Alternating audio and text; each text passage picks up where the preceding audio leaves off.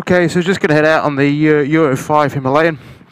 It's a bike that's sadly been off the fleet for uh, a month or so, simply because of a faulty ABS sensor, which I knocked when putting in the back wheel. So the bike at the minute uh, isn't got ABS working, and because it's got a speed sensor as part of the ABS sensor, the speedo's not working either. So uh, the bike's off fleet, but for me to ride it myself, no problem at all. So I'm going to take it for a spin, just show you what I think about it uh, in comparison to the uh, Euro 4 bike. Right, cheers. Okay, so most changes to the Euro 5 bike are largely just uh, for the sake of passing emission regulations. So the cat has been uh, relocated further up the downpipe. That's, I believe, to give it a sort of a hotter, leaner burn and to sort of reduce emissions that way. Uh, they've also moved the carbon canister uh, that used to be in the belly of the sump guard, and now it's sort of tucked up behind the um, the rear panel, the rear mud guard, so it's all under there. So um, it's basically a tidying up job. What it's done from a riding point of view is, to me, just just smoothed out the low end fueling. So crawling along in traffic on and off uh, throttle. It's just it's just improved that, just refined it a little bit. It doesn't feel quite as agricultural um, as the original uh, bike. You could say uh, the agricultural nature was always part of the Himalayan's charm. I think they've almost Japanesed it a, a little bit. It's just a little bit smoother on the roll on, roll off of the throttle. Uh, and it doesn't, I suspect, it's not going to be quite as stally as the uh, as the original bike could sometimes uh, be. So basically just a tidy up. Then we've got the tripper computer just there uh, on the side of the dash, which could be a really good uh, tool or toy for someone to use that simply pairs it to your smartphone that you can get so you can get uh, directional arrows come up on that. Uh, and it's something they're already fitting or also fit into the Meteor. So a nice little bit of simple technology basically a basic uh, sat nav. You've got revised uh, frame guards. That's just to give you a bit more uh, knee room. So that applies mainly to tall or long-legged riders who up until now or on the Euro 4 bikes found themselves banging their knees on the on the frame. There is sort of um, a suggestion uh, that maybe they're not as strong now, uh, and personally, I don't prefer the the new engine guards. I think they've lost a little bit of their practicality. Um, they were always really handy for me for for mounting uh, dry bags too. So I put my clothes in in a dry bag either side, and that I'd empty out the the panniers for other things. So yeah, uh, it's kind of one step forward, one step back in that regard. Also, the stronger rear rack on the rear, which is now, I think, rated to take six kilos. So not a huge amount. Let's have a look. I think it's six, seven kilos. But I think the fact that they've just addressed some of the basic problems, uh, the clock's still missed up a little bit, so they've not cured that. Although uh, I suspect what they've essentially got is is the mouldings uh, of many millions that uh, they've simply updated with a tripper computer and so it's simply the same clocks as were on the Euro 4 bike, just with a new uh, new dials, new screen, just a, a white light now rather than a, an amber one. Um, so not a lot else. What are their problems? I mean, who's to say yet if they fix the head bearing uh, issue? So it is quite common for, for the Himalayan to suffer uh, notchy head bearings quite early on in its uh, life cycle, really. I mean, I've had most of mine have gone around 6,000 miles. In fairness, they do get a lot of abuse off road, and so that could be uh, aiding or speeding up the erosion process simply because they're getting a lot of uh, grit and grit, uh, grit and grime in there and also more jet washing. I am very careful with jet washing the bike just to make sure I don't get the uh, the old jet on it but uh, sometimes it's a bit inevitable. So really that's it. Yeah, it's a sort of a spit and polish job the Euro 5. In a sense it's a slight bit of disappointment. You kind of thought maybe they would up the engine size and maybe make it out to the sort of 460cc mark, which uh, Hitchcocks do the kit to, to do. Um, it seemed like a good opportunity. Uh, I suppose I was comparing it to the CRF 250 and the step up to the 300, maybe if they'd have done something like that. But at the same time, the, the CRF is was eight years, nine years in its uh, product cycle before that finally got the upgrade to the 300. So with the Himalayan probably only being in its fourth year of production, um, it was probably optimistic to think they'd do an engine upgrade. Obviously, big talk of the 650 and whether that's going to be coming. Uh, that's going to come in the, in the Himalayan chassis. You know, for me, I, I don't think it's going to happen. I think pretty categorically there's not going to be a Himalayan 650 uh, with the twin engine. Um, and personally, I think it would ruin the bike. The beauty of the Himalayan is it's a lovely, tractable, relatively light. Light's probably too strong a word, but manageable machine, and that single-cylinder engine just really suits its nature. And obviously, the the chassis has been built around the engine, so the the chassis, the suspension, the brakes, everything, the wheels, the geometry has built been been built around the the 410 engine. So it's not a simple case of just whacking in a 650 lump and away you go. It would completely take a it would take a complete redesign or new bike to make that happen, and they just aren't going to do that. So for me, well, if they, they could do that, but it won't work. So for me, I think what we're going to see is a slightly enlarged, possibly liquid-cooled single-cylinder engine, and I think that would really take it into another league. If even if it was 35 brake horsepower with the same amount of long-stroke torque, that would be ideal. Uh, and then possibly maybe we'll see a 650 twin based um, scrambler, street scrambler, so a bit more comfortable, a bit more upright, a bit more uh, able to carry luggage than the Interceptor and Continental, but uh, a more road biased bike built around that engine. So we could see it go off in sort of two directions, and I think that would suit a lot of people. The 650 twin um, road biased bike for, for the majority of people who just want um, a bit more power. And then the Himalayan is still with a single cylinder for those who kind of want to use it for what it was intended, which was a, an all-roads bike. This is a low mileage machine. It's only got 411 miles on the clock, so I'm not going to be revving it out. 4,000, four and a half possibly. But for me, the bike with 24 horsepower isn't. It's not a fast bike. There's no point pretending that it will accelerate with vigour. It won't. But what it is is torquey, and so I think other than on long stretches of motorway, I, I never find the Himalayan to be that underwhelmed. Um, and if anybody saw the um, Tail of the Dragon video I put up the other day from a few years ago in America, uh, I think the bike handles so well on the road, the suspension's so good, the chassis is so well tuned that you can carry so much pace, and therefore it's more about momentum than it is about outright speed. So, you know, sometimes I wonder if those complaining about a lack of power maybe ought to work on their riding, which is probably a bit of, you know, maybe a bit of a harsh blow, but I, I don't think you can f- blame it all on the bike. But hey, let's try off road, shall we? Second gear. I'm down into first. So this is a lane. So this is a, a lane I've used on a few videos recently. 300 Rally CRF CB500X.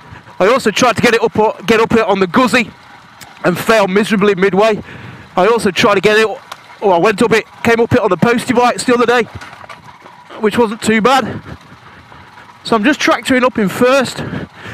Now the Himalayan weighs about 40 kilos more than the CRF and it is evident that there is more bike to move around.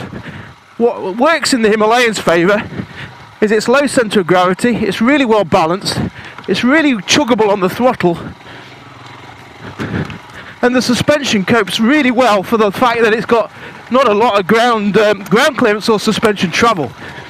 So somehow the Himalayan is more than the sum of its parts. And that really, I think, is why I've always warmed to it so so strongly. Because here's a bike, £4,000, let's cut that off, always stop here. Here's a bike, £4,000 when it first come out, okay, it's gone up to four and a half now, such is life. Um, it's a bike that came out, and everyone wrote it off as it's going to be absolutely crap.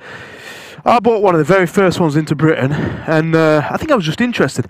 You know, for that sort of money, it seemed to offer so much.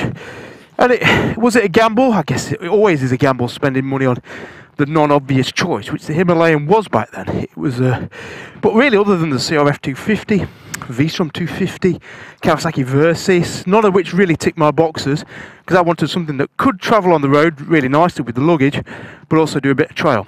So the Himalayan came out at four. I thought, gonna give that a go, and I've got to be honest, I was I was so impressed with it as an all-round bike. I think I did 19, 18,000 miles that first year on that first bike. I, I guided trips Land's End to John O'Groats. Uh, I took a group across America, east coast to west, uh, with riders on faster bikes. I sold that bike and then bought another one, uh, and I, I, did a trip out. Guided a group back from Bulgaria, so over the Alps and stuff. And obviously, the, the, the Himalayan runs out of puff when you're going over the Alps and you've got a GS 1200 behind you. But in the corners, it could really carve and it could really excite you as a rider's bike, which I think people have, been quick to, or people who've never ridden it, have been quick to dismiss it, dismiss it as something that can't be ridden fast or can't be ridden well or can't carry. I don't know. It, that isn't a good bike, but I, I've really found it just an enjoyable bike to ride. People say I'm biased towards the Himalayan.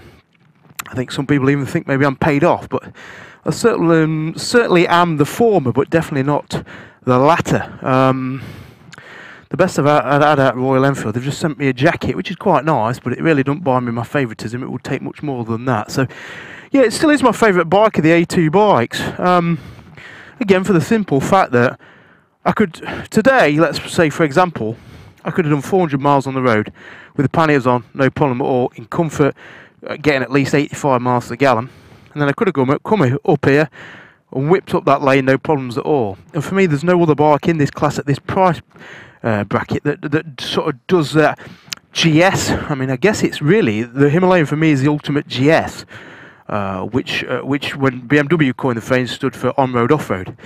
Uh, and so, to me, the Himalayan is the ultimate GS, and it's probably the bike that uh, BMW should really have uh, built. So, what I'm going to do now, I'm going to shut up because I talk too much, and I'm going to just take you on a few lanes, narrate them as I go, and just show you what the bike can do and let's go from there really. One thing I just wanted to to say about off-road riding now. Um, lots of people wanted to get into it, and, it, and, sometimes people try and run before they can walk, which is no bad thing because that's what you know. Guess what I did? It's pretty much what I did. But I think the best, the thing you need to really think about with off-road riding is slow, sl- slow speed bike control. And one of the very first drills I did when I went did the off-road skills at BMW one of the things to teach you is to ride, to walk beside your bike, slipping the clutch.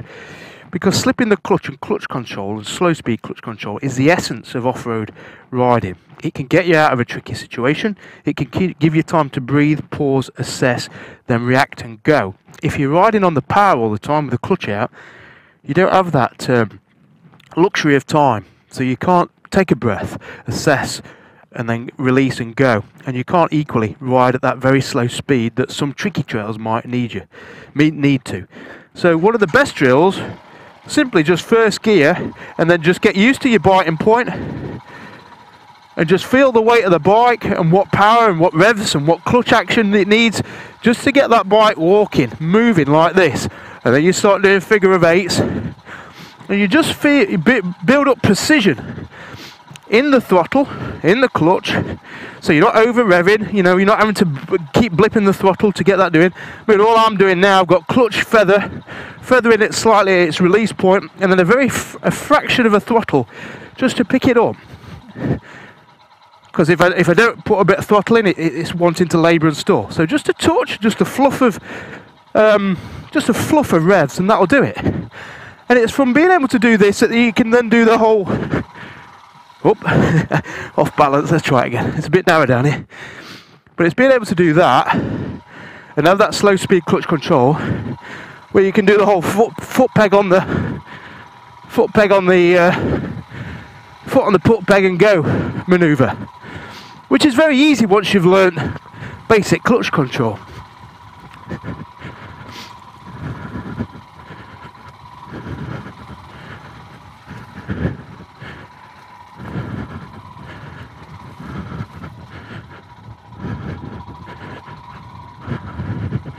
Definitely think this Euro 5 bike is is a bit happier ticking along at this sort of second second gear low revs uh, pace than the Euro 4 bike. It's only impercep- it's only little. It's not not a huge change at all really compared to the step from the CRF 3, 250 to the 300, which is very noticeable. Which is, to be honest, has made that bike really good.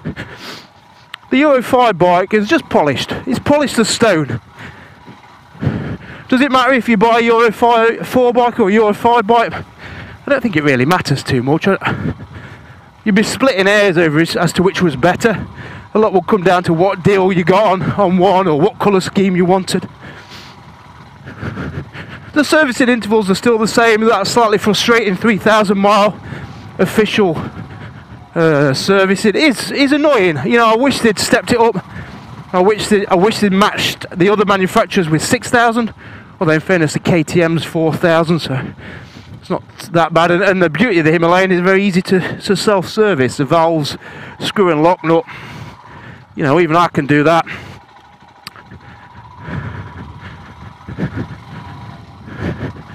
But officially, it'd be nice just to stretch that out a bit, even if it just reduces your servicing costs a little bit.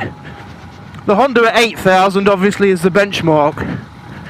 But bikes like the V-Strom 250 and the Versys 300, they were worse than the Himalayan because they had 3000 service intervals, uh, mile service intervals, and they had uh, shims, which needed checking frequently.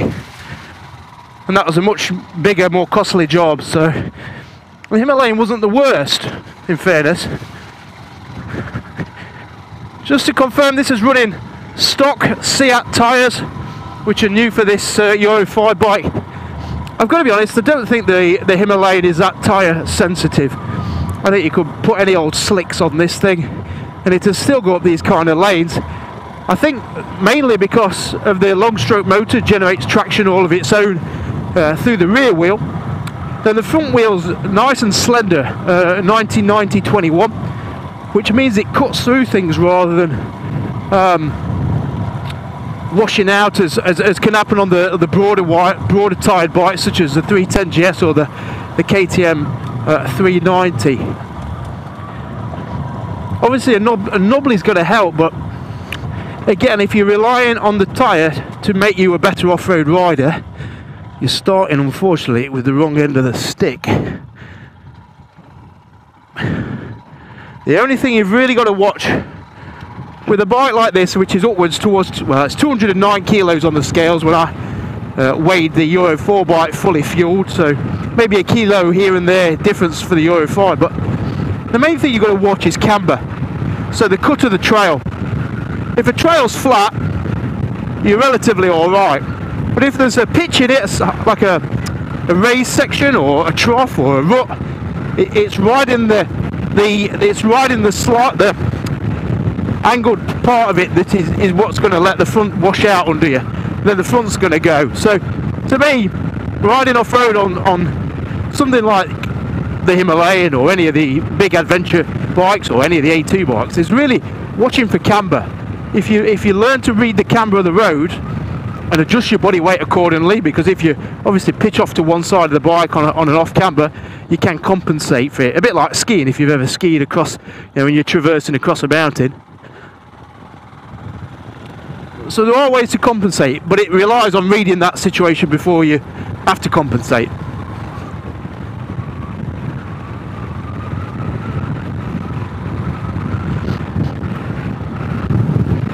This is a nice little lane. This is the lane I use uh, on the A2 test days. So um, when people come down and ride the CRF, the Himalayan, the 390, the 310 and the 500X back to back, this is the lane I use simply because it's it's pretty manageable even for a novice rider. Take it steady, um, give them a few pointers at the bottom.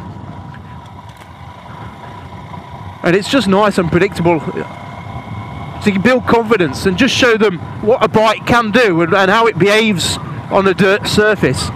That's sort of the, the, the, disconnect between the front wheel and the back because obviously the front might be on a bit of dry patch and the wet might be on a bit of wet. So just getting used to the different movement of the two wheels, which is very uh, uh, different obviously to road riding, which is very predictable by comparison. Obviously teaching them to scan ahead, keep their head up, look for obstacles, look for those cambers, look for potholes, look for vehicles coming look for braking points, consider what gear you're in. So I did a downshift then just to prepare for that little obstacle. Go around that obstacle. Still got the head up, not working the engine too hard because it's obviously still been running. But I want a, I want a soft throttle input. I ride a high gear generally on and off road because I don't want an aggressive input on the throttle. I want something that I can roll on and roll off without any sudden change in speed of the of the engine or the bike. So I'm in, I'm in third at the minute. I can't tell you what speed I'm doing because my speedo's not working. But I've got soft arms, I've got a slight bend in the knee, I've got my bum back a little bit, I've got my elbows up, increasing the width of my sort of shoulder stance, which gives better grip, leverage and strength on the bars. But certainly avoiding the death grip, which is what goes, which what a novice rider tends to do, the grip for dear life with the arms. When off-roading really is all about the feet as the main contact point.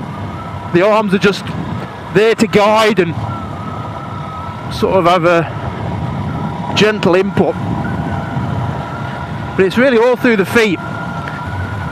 All through the feet. Just watching it down here. We've nicknamed this road, this lane, the John Deere test track. because there are many tractors come down it and they uh, travel relatively briskly.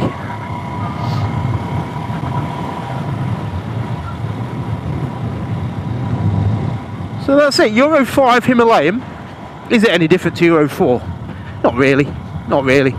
Performance is no different, handling no different. A bit of better fueling at the bottom end. Some improved changes, stronger rear rack. But at the expense of the slightly butchered front rack, which I don't like. I'd be interested in seeing if you could put a an old one on the on the on the new bike. But what the Himalaya does and what people find when they ride it down here is it gives great stability and confidence, which none of the other bikes give as much of. The CRF is, is great, you know, it's a trail bike, but it feels quite flighty and light and darty uh, along that surface there. And for a novice rider, that's disconcerting. By comparison, the Himalayan just feels like you're riding on the back of a long um, sort of girder or something. It's so planted in the dirt, it doesn't move around. Um, it doesn't feel like it's going to misbehave or squirm. And for a novice rider, it's exactly what you want. The only criticism this year, um, perversely, is a, is a side stand, which was too long on the Euro 4 bike, which made it sit too upright, and therefore there was a danger, especially when you were loaded, of it toppling over that way, which happened to mine several times. So they've gone the opposite way and made it too short. So now, to me, that leans too far over, especially with a bit of camber on the road. So if you had a bit of luggage, could be a tendency for it to topple that way. So somehow they managed to get it wrong on both occasions. That must take great effort. My only other criticism, parts, parts availability. Uh, and it applies to a lot of brands at the minute, to be honest. None of them have got their acting gear. Uh, I think some of it's Brexit, some of it's COVID, some of it's whatever. But the fact that I can't get an ABS sensor for this for sort of five weeks, and other people have waited on parts for their Himalayans for six weeks, seven weeks, whatever. I don't think it's good enough in this day and age when you can FedEx a parcel from India in 24 hours, 48 hours. Plenty of people on eBay are doing it. Why an organisation, a company like Royal Enfield with importers as established as MotoGB can't have a, a relationship whereby somebody says, hey, you know what, we've, we've got a guy in England who needs this and we've got a guy who needs that can you go to that big factory where you're making all these bikes with all those parts, pick one, put it in an envelope and send it? I, I don't get why we should. There should be an excuse for this six weeks, ten weeks window that they that, that they do. And it's not just Royal Enfield. It's I hear the same story with plenty of other manufacturers, but uh, it's more relevant to me that Royal Enfield are rubbish at the minute. And I don't know if it's a Royal Enfield or a MotoGB importer issue. I don't know if it's COVID. I don't, I don't know. There's there's lots of excuses, but ultimately, if you're selling a product, you should be able to back it up with parts, and that is my only frustration. Because the dealers, I've got to be honest, the dealers of Royal that Royal Enfield have got in the UK are very good. They're really passionate about the brand. Well, not universally, but most seem to be passionate about the brand. They know the bikes. They seem to like working on them. If only they could get hold of the damn parts. So. That's it. I'll see you on the next trail. Take it easy. Bye. Just before I hit that next lane, I just want to see if anybody is interested in doing a oh, horse and cart. So I'm going left, mister. Oh, thank you. Cheers.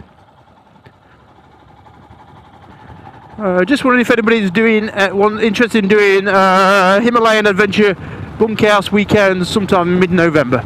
Uh, just be down in Exmoor, bunkhouse, three nights. Well, three nights or two, whichever you can make. Thursday, Friday, Saturday nights. We'll go out for some riding. mainly road riding, but just some interesting roads, back roads. Uh, do a little bit of trail riding for those who fancy it. The idea is just to get out on the bikes in, in what will be late autumn by then.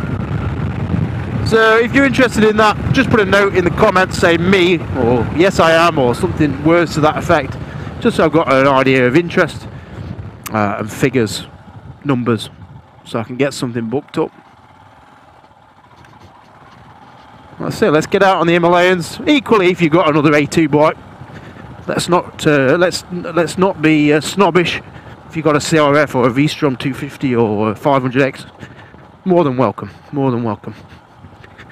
Because I think for me, the more bikes I ride, the more I really just really re respect and appreciate the A2 class of bikes because these bikes are manageable and allow you to have an adventure without the fear or intimidation of the bigger bikes.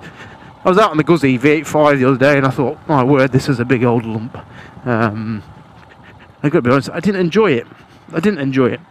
So the Guzzi's up for sale if anybody wants the blue Guzzi V85 that I can't find second spare key for bloody thing. Alright, see you on the next lane. Recording. Just going up to another little lane. It's getting a bit dim in light.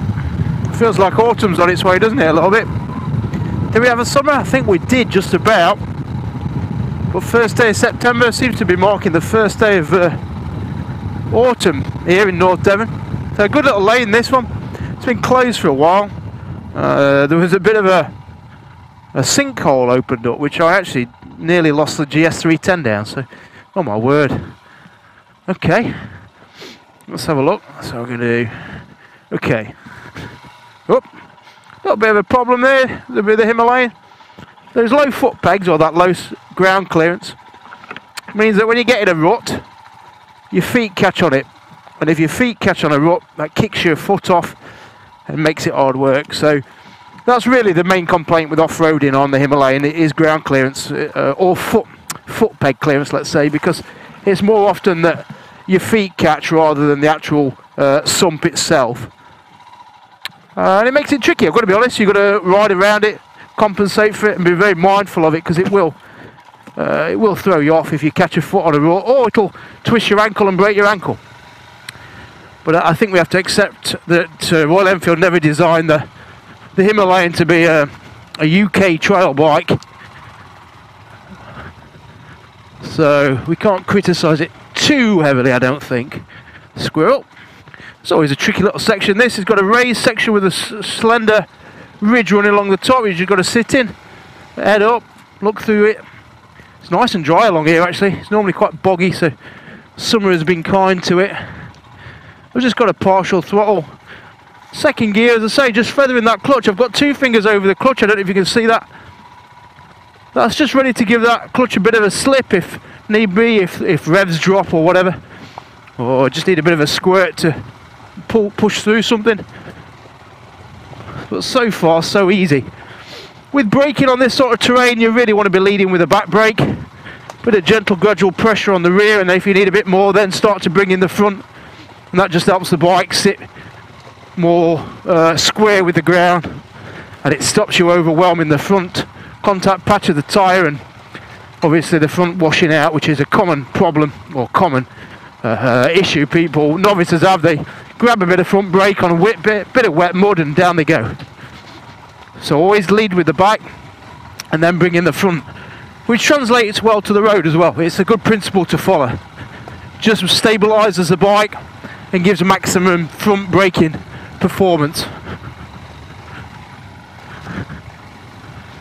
I think if anybody could get off-road training, it, it enhances your riding all round. Really, uh, I think rather than learning doing advanced road riding, I think a lot of people would be benefit from off-road training, tuition.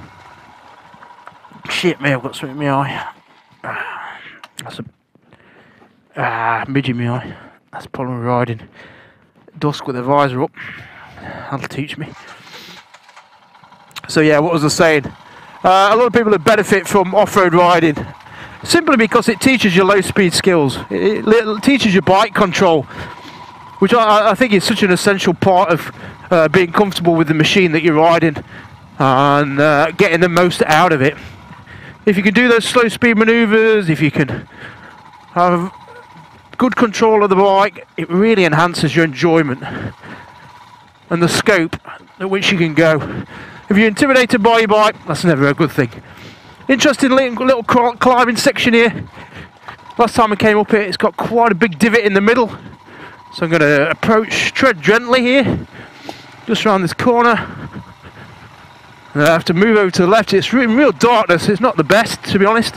Hope you can see this on the camera. So I've got exposed stone there. I don't want to drop into that trench. I've got soft throttle first gear, weight back. I've got my weight back over the back of the bike just to keep that back wheel contact with the ground. Soft throttle. I'm not overwhelming it. I don't want it to spin up. Constant drive. I'm not going to go for second. It would take second, but I'm just going to keep constant drive. Then I'm out. Clutching. End of the lane. Nice that. Enjoyed that. Right, I'm going to take you to the next lane, which is a bit trickier.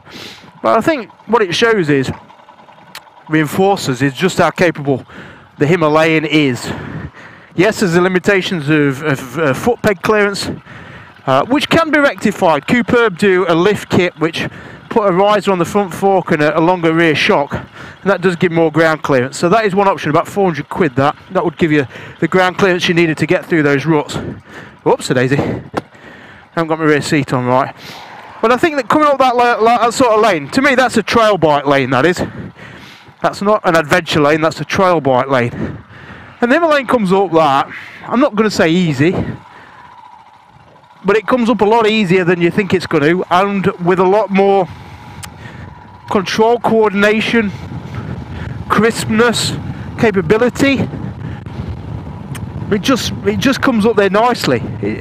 I've got the 390 KTM up there and I've got the 310 GS up there. Uh, and the 500X has come up most of them lanes. But you almost feel you're having to ride around the obstacles. You're having to really pick your clean line. You're having to work against the limitations of the bike. The bike not isn't naturally wanting to go up that lane and therefore you get it up there and you go that bike can do it that bike's not as bad as off, off-road as, as you think especially something like the 390 KTM, which has got that kind of awful crouch standing position, which makes it laboursome. But you get it up there and you go, well, that's that's pretty good. It got up there. The Himalayan feels like that's its natural terrain. That feels like the suspension copes, the power's good, the standing position's natural, and so all the ingredients are there to make a lane like that perfectly manageable uh, for, um, I'm going to say, an intermediate, novice to intermediate rider. A novice rider is probably not going to get up there first time but you know what? Even if they had a go, it would it would the bike would do its best to get you up it. I get the sense with the Himalayan that the bike is willing to work with you rather than against you. It's a good friend. And again, for an adventure bike that you're taking on a journey with you, that's a really good attribute. Um, I should be a salesman for Royal Enfield, shouldn't I? Shit me. As I say, best I've had out of them is a jacket, which I'm very grateful for, don't get me wrong. But, if Kawasaki came out tomorrow with a Versys 400 with nice soft suspension, nicely capable, nice torquey 400 engine, you know, I could easily be swung, swayed. Whoops, it is, let's watch that car. It's interesting what's on the horizon at the minute bike-wise. I rode the Voge uh, 500 the other day, which is a really good road-biased adventure bike coming out of China. Then you've got the Moto Morini X XK, which I think looks fantastic. A 650 twin engine, um, sort of 64 horsepower, I think. A little bit weighted, 220 kilos, but I don't pay a lot of attention to to on paper weight these days because most of the time it doesn't translate into how the bike feels. The Himalayan, 210 kilos, doesn't feel like a 210 kilo bike. So pinch of salt there, but the Moto Morini looks good, and, and I think you know as many people against the principle of China selling bikes, I, I think the Chinese, bless them, have, have, got this knack of being quite quick and responsive to customer demand and the way the market is going, i.e., smaller bikes. So they brought out this Moto Morini. I know it's an Italian company, but it's uh, backed by and owned by China. Even So they've come out with that bike perfect. Twin cylinder, plenty enough power, looks good, good price, seven thousand pound. I mean, where are the Japanese? Where is that Transalp? Where is? I mean, I know we've got the Tenere 700, but you've got to be a giant to ride it properly. Uh, where's a Kawasaki Versys 650 with a off-road or adventure bias bike? So where's Suzuki? You know, where are the, where are the established brands? Okay, this is going to annoy the guy behind me. Oh, fuck me. I'm just... Oh, shit. Bike's just cut out. Why did that happen? Not the best place at all.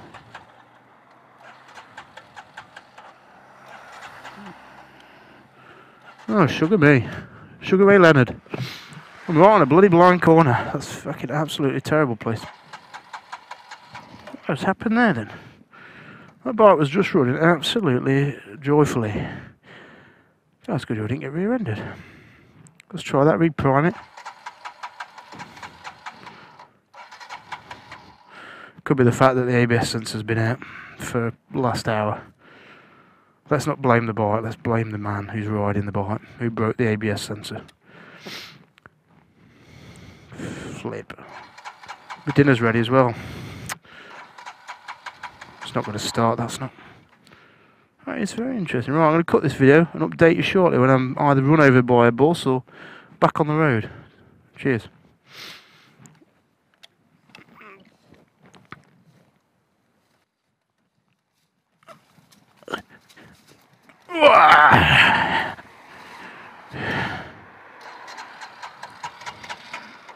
What the hell is happening there?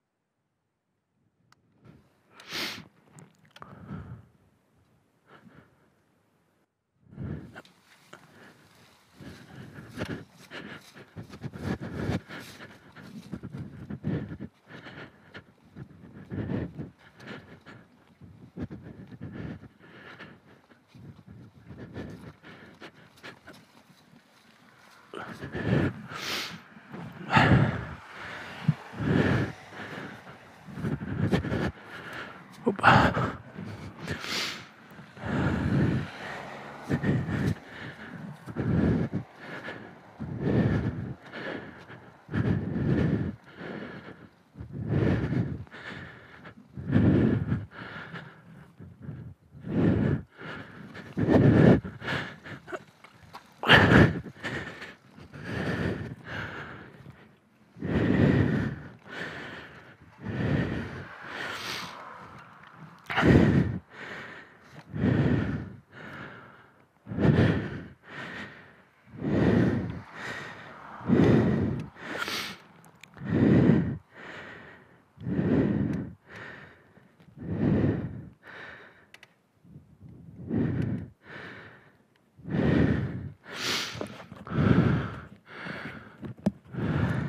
Recording. Okay, so just walking, uh, just left the bike, just walking in search of a mobile phone signal to call home, or maybe a taxi or one of the two. See how delighted my wife is to come out and fetch me, uh, and then come back to the van. So a bit frustrating. I don't have any tools on me, so I can't get to the, behind the panel to have a look. If uh, it, most likely, I think it's going to be one of the connectors that's just come loose uh, after we've been prodding around with it with the ABS sensor. So I think very much it's all connected. That's the plan. See you somewhere. Cheers.